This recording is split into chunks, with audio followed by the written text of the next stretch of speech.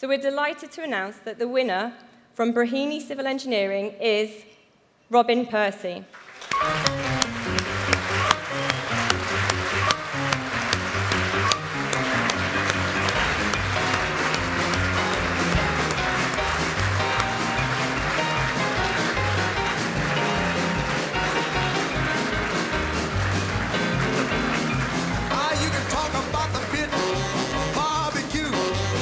band was jumping, the people too I mess around.